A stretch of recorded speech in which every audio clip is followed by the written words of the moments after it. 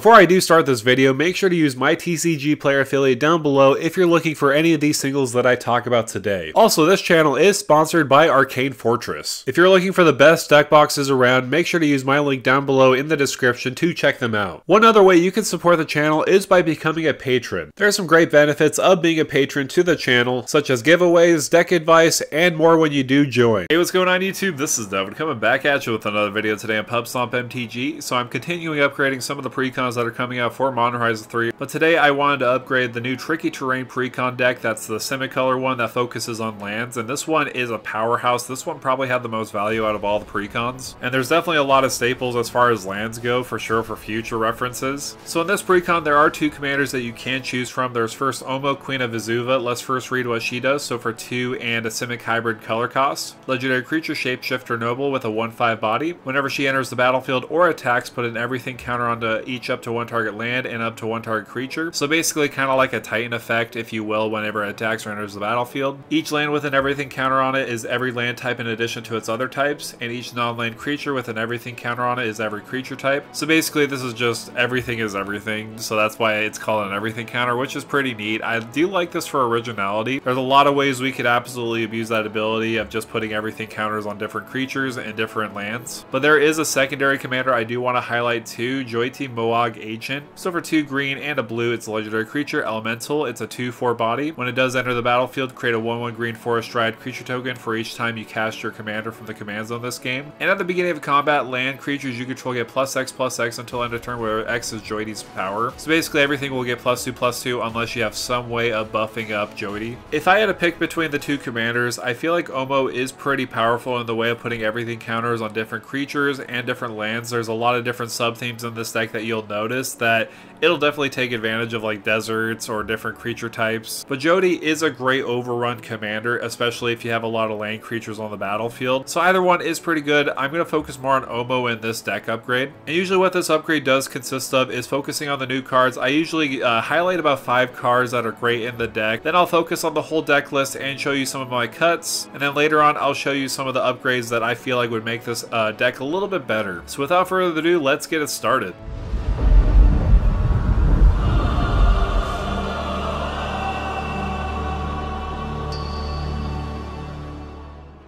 Out of all the commander decks that I've seen so far, this one has probably the most staple lands I've ever seen come to Magic the Gathering, at least for commander specific cards. I did want to highlight a few lands that are going to be excellent in any kind of deck, Talon Gates of Madira, Planar Nexus, and Horizon of Progress. So let's take a first look at Talon Gates of Madira. This is excellent because when it does enter the battlefield, it target creature phases out, so this could be used offensively and defensively. You could use this against opponents creature when it's attacking you, or you could use it defensively if someone tries to remove one of your creatures, you could just put it onto the battlefield because you could pay 4 mana, put Talon Gates and Madira from your hand onto the battlefield, so basically an instant speed protection for one of your creatures. Planar Nexus is just an extra copy of one of those kind of non-basic land types, so that's good there specifically if you want to use it for a desert deck. And Horizon of Progress, one of my favorite lands of this entire deck, is basically just a Horizon land, and could put a land from your hand onto the battlefield. Another excellent land choice that will really only go into blue color combination decks is Sunken Palace. This does enter the battlefield tap, so that is the one downside. It does tap for a blue mana, but it does have a great ability paying one and a blue and tapping it. Exile seven cards from your graveyard, add a blue mana. When you spend this mana to cast a spell or activate an ability, copy that ability or spell. You may choose new targets for that copy. So what's pretty neat about this is whenever you cast any kind of spell, it doesn't matter about instant or sorcery. If you have a creature that you want to copy, you could easily do so by paying that mana and also exiling seven cards from your graveyard. So basically like an escape cost in a weird way. Or if there's a really powerful ability that you also want to copy, you could just pay that mana and also tap it as well. So this one is pretty powerful. I do like it for what it does, especially in those blue decks where you want to copy a lot of different things. But let's move on to a creature I'm mostly excited about, and that's Rampant Frogantua. The reason why I'm so excited about this is the fact that it'll get buffed up for each person who loses the game. But by itself, as a 3 mana trample 3-3 body, isn't too shabby, but it can easily scale in the game. If somebody does lose the game, it'll become a 13-13. If another player lost the game, it'll become a 23-23. And if you're somehow in a six-person game, this is going to get exponentially huge depending on how much people are knocked out. But in a weird way, it's like a rampant growth. Whenever it deals combat damage to a player, you may mill that many cards, put any number of land cards from them onto the battlefield tapped. This can be very good in a reanimator strategy because all you really want is big creatures in your graveyard. You don't really want any lands in your graveyard because you want them on the battlefield. That way, Rampant Frogantua, when it does attack and when it does connect to an opponent, you can't just put those lands onto the battlefield and the rest in the graveyard. I think this is a very good card and possibly a really good card in Grolnok. But let's move on to another card that I do like in this set. I do like Copy Land for two and a blue. You may have Copy Land enter the battlefield as a copy of any land on the battlefield, except that it's enchantment in addition to its other types. So it's very similar to the Copy Artifact, Copy Enchantment kind of effect. In a weird way, this does ramp you because it does enter the battlefield as the chosen land. But what makes this very good is it could really scale with different type of opponents. If somebody does have a Gaea's Cradle, well, now you get a Gaea's Cradle. But that's really the main only example. I mean, there's a couple others like Field of the Dead that you could copy that this could be really extremely good with. And the last new card I do want to focus on is pretty powerful, and that's March of the Velis Vel. For two and a blue, choose non-basic land type. For each land you control that's the type, becomes a copy of target creature you control until end of turn and gains haste until end of turn. So this could be very powerful with Omo specifically because you're putting everything counters on specific lands, and so they have every non-basic land type. So if you have everything counters on like five lands and you have like two deserts on the battlefield, you could just name deserts with March of Velis Vel, and then just have it become a copy of a big giant creature you have on the battlefield. Let's just say a Rampant Frogantua, and somebody's out on the battlefield, so you have like a bunch of 13-13 swinging for everybody. Plus, not to mention this does have flashbacks, so if you want to get one more use out of it, you totally can. So now that I've talked about the new cards of the deck, I did want to focus on the deck itself and talk about some of the reprints and talk about some of the cuts that I would take away from this deck because there's honestly a lot of chapped and pre-con products anyways.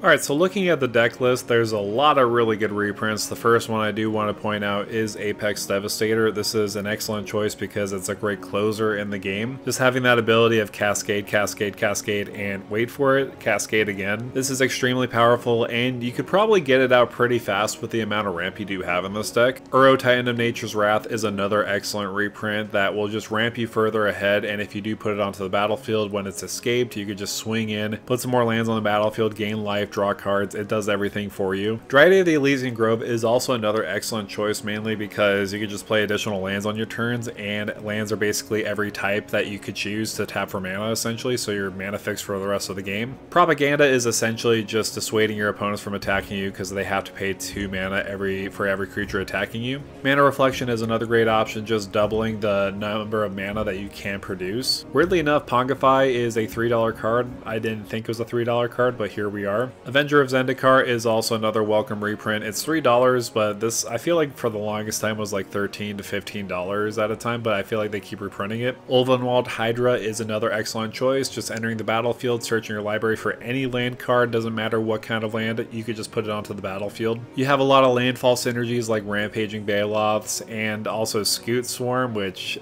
I don't know if you know, but I absolutely hate Scute Swarm, but it is there. And there is a total of 44 lands, so obviously you could cut that down if you want to. I mean, this is a lands deck if you really want to focus on that specifically.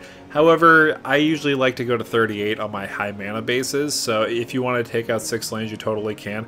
I also forgot to mention Dark Depths, what a really good card. I am not counting uh, taking out the lands, I'm going to focus on some other cards that you can take out, but definitely you could reduce the mana base if you wanted to. But let's focus on some of the cards that you can take out. There's a, bunch of them that I feel like are kind of unnecessary. I mean, they, they can work with your game plan, but I feel like in a way you have better options. For example, Eureka Moment, Harmonize, Drawing three cards for four mana is not the greatest. There's a lot of other ways we could draw cards that are better than this. Summary Dismissal is another one you don't necessarily need. It's four mana. I mean, it's a great effect, but it's kind of unnecessary. Urban Evolution is another one you can take out if you want to. Skullwinder is another one I don't think is very good in the deck because this does help your opponents. I don't really like helping my opponents as much unless I'm playing a group hug deck, so this one you don't necessarily need. Looking at other cuts, Fog Bank is one that you really don't need in my opinion. Like, it's just uh, O2, Defender Flying, preventing all combat damage, you don't need it. You, you seriously don't. If you get rid of Poison Dart Frog, I will find you and find your house, and I don't know what I'll go from there, but just don't get rid of Poison Dart Frog. We don't even want to get to that point. Satyr Wayfinder is okay. I don't think it's necessary. You don't need it. There's a lot of things that you can take out in a general sense. Uh, I feel like, in a way, you could just kind of make this deck however you want as a good stuff deck. This is what really it is. I mean, it does focus on some counter synergies, making everything counters on different creatures and with definitely a landfall theme with all those landfall creatures. So you can take advantage of that even further with a couple of different options that I'll show you later on. But this deck list, uh, as you can see, it's pretty pricey at first. Looking at it, it's uh, $212. That is pre-release pricing. Technically, we're not at release on the product, so some of these can swing up or down depending on how much play they do see. Also, I forgot to mention Yavimaya Cradle of Growth. That's another excellent reprint. So again, there's a lot of reprints in here. Some things that you could definitely take out, and I feel like overall it's a very strong deck list that is a very good foundation for you to make a really good deck. Of course, there can be upgrades though, and that's what I'll get into. So as you can see, there is a lot of focus on the everything counters that your commander does produce. So let's help our commander's game plan out by using cards like Nesting Grounds, Goldberry, and Aven Courier. As you can see from each of these cards, they have that focus of moving one counter from target permanent you control to another target permanent. These are very good, especially in those situations. If somebody tries to remove like one creature you have with an everything counter, you could just tap Nesting Grounds and just put it onto a land. Because everything counters even though you move them from like a permanent, from like a creature to a land, they're still going to have that effect with your commander out on the battlefield. Out of these options though, Goldberry is one of the stronger ones because it focuses on moving counters, shifting them back and forth from Goldberry to a different permanent,